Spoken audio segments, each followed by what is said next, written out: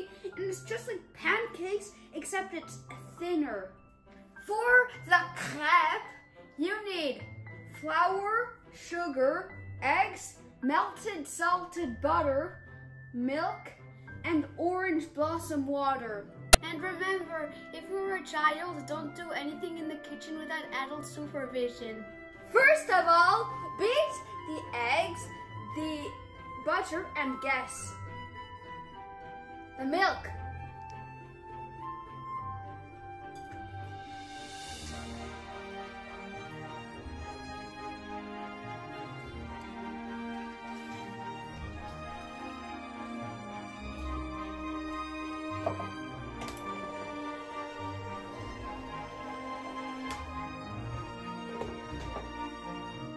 Put the liquid batter aside and um, take the dry ingredients and mix them together.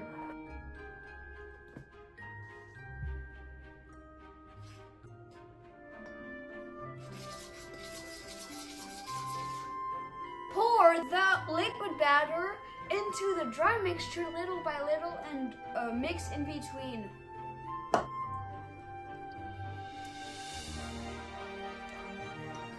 It's really important to beat in between until it's completely incorporated because you do not want lumps.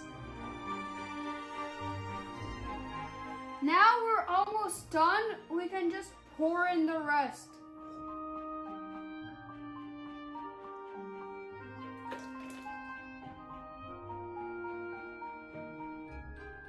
Let it rest for one hour at room temperature. See you in an hour.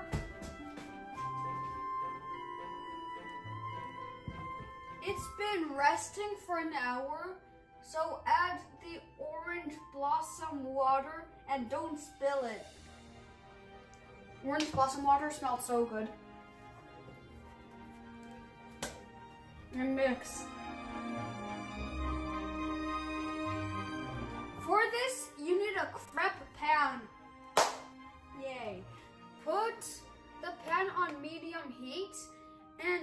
must wait for it to be hot until you put the batter on.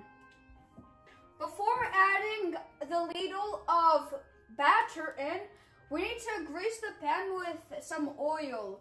So dab it in. And yeah, it's hot enough now. We need to pour it in.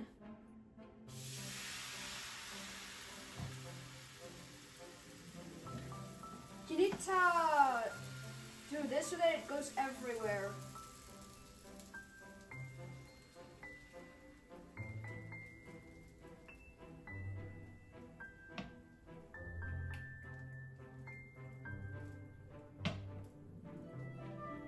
If there's holes, take just a tiny bit of batter and put it in the holes.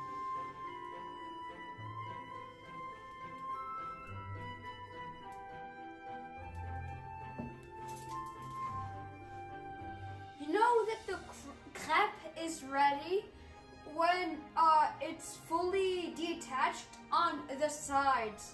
So it's a good idea to try to, to move the sides occasionally.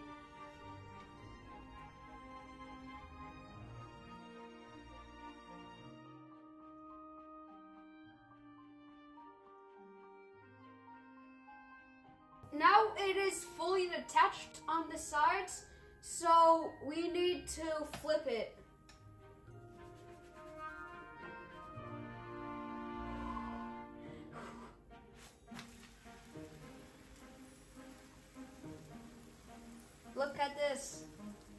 I managed. And you need to bake it like this for approximately one minute and then it's okay.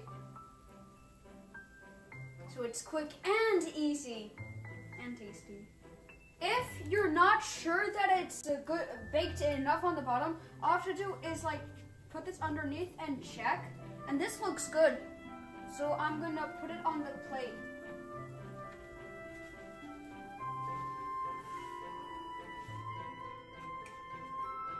there. Look, this crepe looks so tasty.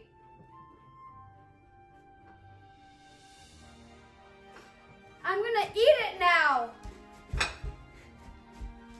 Brothers, give it back. Oh, it's so good. Thanks. I'm gonna make another one. Brothers are so annoying. Don't forget to hit that subscribe button, smash that like button, and hit the notification bell to never miss another video. If you enjoyed this video, watch this video or that video. They're both awesome.